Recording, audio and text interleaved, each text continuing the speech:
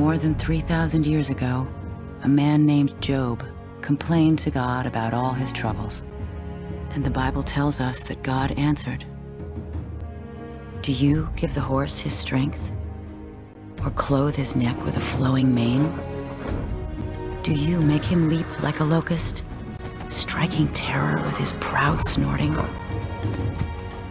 He paws fiercely, rejoicing in his strength, and charges into the fray. He laughs at fear, afraid of nothing.